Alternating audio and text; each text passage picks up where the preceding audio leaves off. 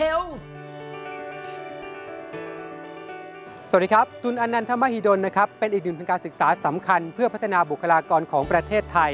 ที่มุ่งหมายให้ผู้ที่ได้รับพระราชทานทุนการศึกษานี้กลับมาทำประโยชน์แก่ประเทศชาติ ซึ่งแผนกทันตแพทยศาสตร์นั้น ก็ได้รับพระมหากรุณาธิคุณนี้ และได้รับพระราชทานทุนการศึกษานี้มาอย่างต่อเนื่องจนถึงปัจจุบันเช่นกันครับในปีพุทธศักราช 2535 พระบาทสมเด็จพระปรมินทรมหาภูมิพลอดุลยเดช พระราชทานพระบรมราชานุญาต จัดตั้งทุนมูลนิธิอานันทมหิดล แผนกทันตแพทยศาสตร์ขึ้นอีกแผนกหนึ่ง เนื่องจากทรงเล็งเห็นความจำเป็นของการสร้างทันตแพทย์ที่มีความเชี่ยวชาญวิชาการขั้นสูง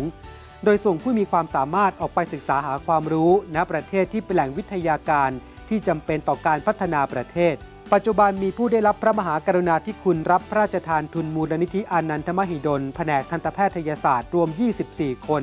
และได้กลับมาเผยแพร่ความรู้ที่ทันสมัย แก่นักศึกษาในคณะทันตแพทยศาสตร์ มหาวิทยาลัยต่างๆ ทั้งนี้พระองค์ทรงเน้นย้ำคุณสมบัติของนักศึกษาทุนอนันทมหิดลว่า ต้องคัดเลือกคนที่เก่งและดี เพราะคนที่มีคุณสมบัติเหล่านี้ไม่ว่าจะอยู่ที่ไหน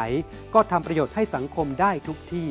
ด้วยพระวิสัยทัศน์ที่ทรงเน้นย้ำการคัดเลือกที่จะต้องเป็นทั้งคนเก่งและคนดีนะครับทันตแพทย์ที่ได้รับพระราชทานทุนอนันทมหิดลทุกคน จึงกลับมาทำงานรับใช้ประเทศชาติอย่างเต็มกำลัง สมกับที่ได้รับทุนพระราชทานที่มีค่ายาคาที่สุดไม่ได้นะครับซึ่งนอกเหนือจากการสอนนิสิตนักศึกษาแล้วก็ยังดำเนินการวิจัย และพัฒนาผลิตภัณฑ์ที่เกี่ยวเนื่องกับช่องปาก เพื่อเอาไว้ใช้เองในประเทศไทยอีกด้วยนะครับส่วนวันนี้หมดเวลาแล้วครับ ผมลาคุณผู้ชมไปก่อน สวัสดีครับ